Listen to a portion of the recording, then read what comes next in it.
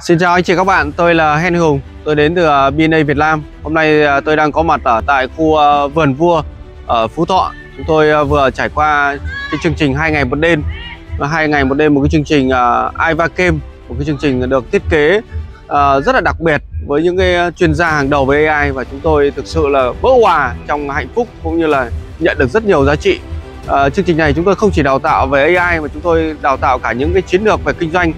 uh, những cái định hướng để chúng tôi phát triển à, à, uh, AI trong uh, thời gian tới. Và mục tiêu trong 2024 của chúng tôi là chúng tôi tập trung các giải pháp AI mang tới uh, để giúp cho các doanh nghiệp uh, thành thạo AI uh, uh, và ứng dụng trong uh, kinh doanh cũng như là trong cuộc sống.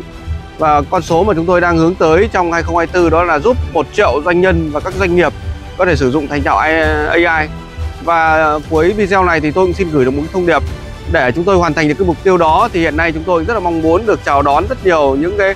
uh, đại lý ở những cái người mà yêu thích công nghệ hoặc là AI cùng đến với chúng tôi. Chúng tôi vô cùng chào đón để hợp tác chúng tôi triển khai AI tới cộng đồng doanh nghiệp đúng không ạ? Hãy liên hệ với tôi Henny Hùng 0948 010 919 để được hỗ trợ để được sử dụng và để được kinh doanh cùng AI ạ. Chúc anh chị một năm 2024 bứt phá thành công!